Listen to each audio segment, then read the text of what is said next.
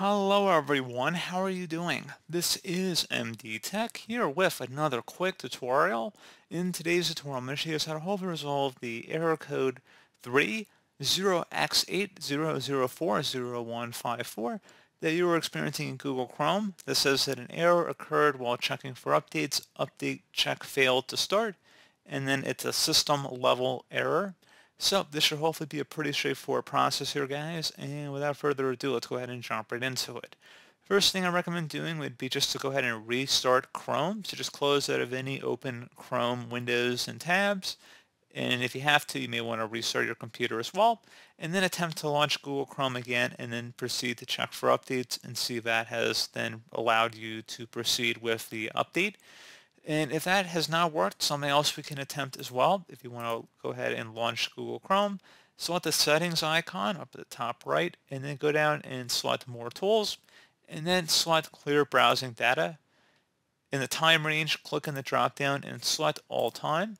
And you want to make sure cookies and other site data is selected here. Select clear data.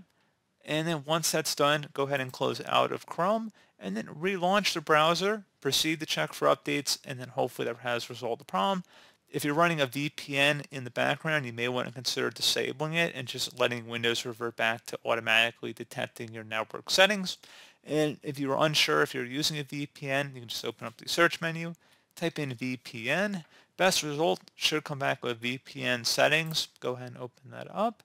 And if VPN is turned on, you want to go ahead and just toggle to the off position. If there's a VPN connection listed up here, just go ahead and disable that, at least temporarily, and then check for updates and see if that has resolved the problem. And you can also try and reset Google Chrome as well if you're still having an issue. So if you want to launch Chrome, select the three-dotted icon and over in the top right again, select Settings, and now select on the left side where it says Advanced, go ahead and left click on that, select Reset and Clean Up, and then underneath Reset and Clean Up, restore settings to original defaults. So this action will reset Chrome settings and Chrome shortcuts, disable extensions, and then delete cookies and other temporary site data. Bookmarks, history, and saved passwords won't be affected.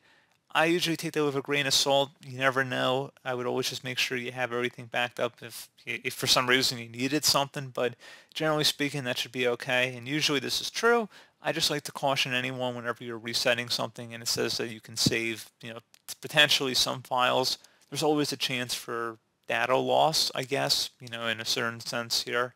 So just keep that in mind. If you want to allow your current settings to be sent to Chrome, you can keep that check marked. Otherwise, you can uncheck that option depending on your personal preference. And then you want to select Reset Settings.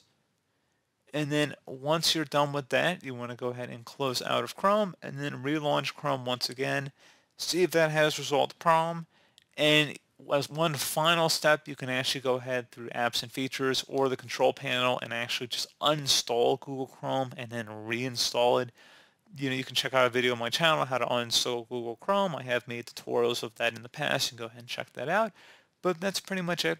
So, as always, thank you guys for watching this brief tutorial. I do hope I was able to help you out, and I do look forward to catching you all in the next tutorial. Goodbye.